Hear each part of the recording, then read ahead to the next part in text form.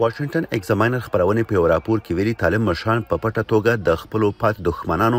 د وژلو د لیست په جوړولو بوخت دي د افغانستان د امنیتي ځواکونو پخوانی ویان اجمل عمر شینواری د دې راپور د تایید ترڅنګ ویل چې د مخکني پوځ د سرتیرو د وژلو ارقام لدی هم لوړ دي کې په ولسو میاشتو کې زمونږ د وسلوال پوز 2400 نفر متاسفانه په ډیر فجی او مرموز ډول باندې په شهادت رسول شوې دي په عین ډول باندې تر 7000 نفر پورې د وسلوال پوز منسوبین د افغانستان په مختلفو سیمو کې د طالبانو د خوانه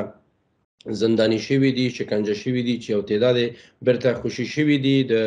د سپینګیرو په منځګړیتوب او یا د بلې وسیلې په په اساس باندې او یو تعداد نورې تر اوسه پورې هم تقریبا په حدود د 2000 کسان تر اوسه پورې هم په علني او مخفي زندانونو کې د طالبانو سره په بند کې په ډیر بد حالت کې پراته دي د جنوري میاشتې په لومړیو کې د رواداري په نوم یو سازمان ویل چې طالبان د 2020 د اګست له 15 نیټې څخه نیولې د 2022 کال د نومبر تر میاشتې پورې په افغانستان کې شپږ سوه درې دېرش ولسي خلک، د مخکیني حکومت نظامیان، سلفیان، د مقاومت جبهې غړي او نور وژلي دي.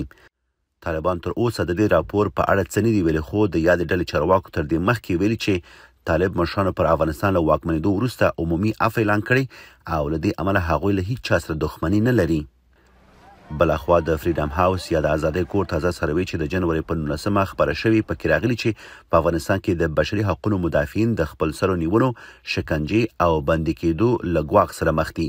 له فریډم هاوس سره په دې سروې کې د کاناډا مدني ټولنې ادارې یا ACSF مرسته کړې ده.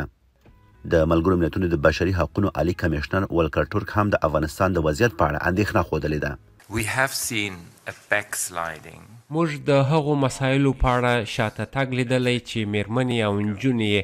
اغېزمنې کړې دي.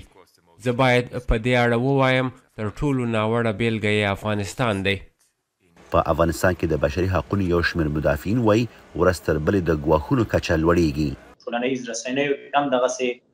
مکتوبونه شته چې په هغه کې طالبانو په مشخص ډول د ځینو اشخاصو نومونه لیکل شوي دي چې هغه مدافعین د حقوق بشر وو او ان دغسې په تېر حکومت کې په مختلف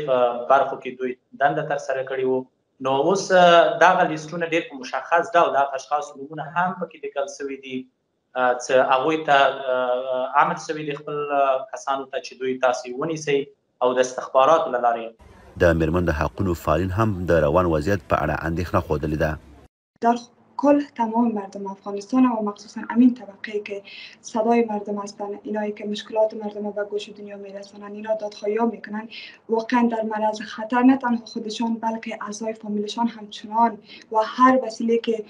اونا را به این ربط میته در خطر هستند. د فریډم هاوس د راپور په اساس په افغانستان کې د مدني ازادیو او سیاسي حقونو د ساتنې په برخه کې ژورې اندېښنې شته خو طالبانو تل ویلي چې د بل هر وخت په پرتله اوس په افغانستان کې د خلکو حقونه خوندي دي. وحید فیضي، امریکا غږ.